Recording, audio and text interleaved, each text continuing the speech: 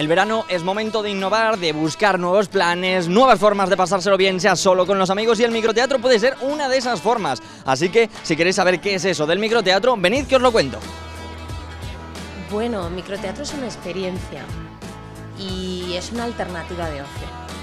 Yo creo que hemos creado un formato en el que ya la gente no solo va al, al teatro o al cine y luego a cenar, sino que puede venir a un espacio donde puede ver teatro, 15 minutos, ver una obrita y comerse una pizza, por ejemplo, ¿no? Y luego bajar y volver a ver otra obra, es como puedes hacerlo todo aquí. En este espacio podemos encontrar obras de alrededor de 15 minutos de duración que se representan en pequeñas habitaciones. Pero si hay una palabra que define esta experiencia es... Que es muy divertido.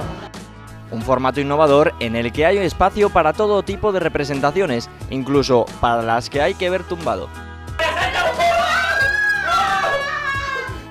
Pero, ¿cuáles son las recomendaciones para disfrutar verdaderamente de esta experiencia?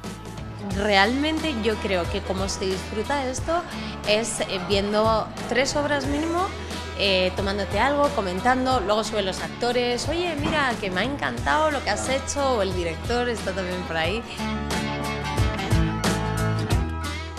Una nueva fórmula cultural que está teniendo gran acogida y desde la que nos dicen...